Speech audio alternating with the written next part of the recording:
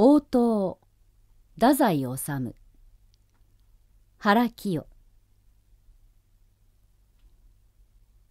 我山に向かいて目をあぐ。詩編第121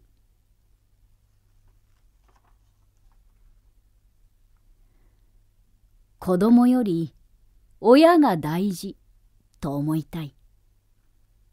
子供のために。などと古風な道学者みたいなことを首相らしく考えてみても何？子供よりもその親の方が弱いのだ。少なくとも私の家庭においてはそうである。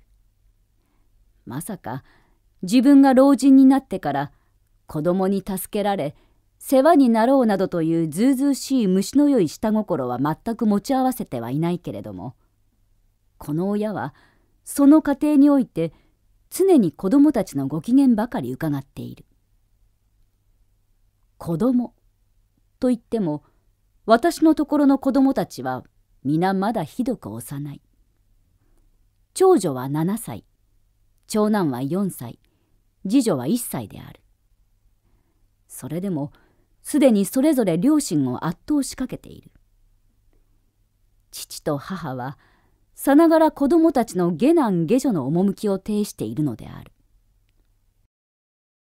夏家族全部三条間に集まり大にぎやか大混雑の夕食をしたため父はタオルでやたらに顔の汗を拭き「飯食って大汗かくもげびたこと」と柳だるにあったけれどもどうもこんなに子供たちがうるさくてはいかにお上品なお父さんといえども汗が流れる。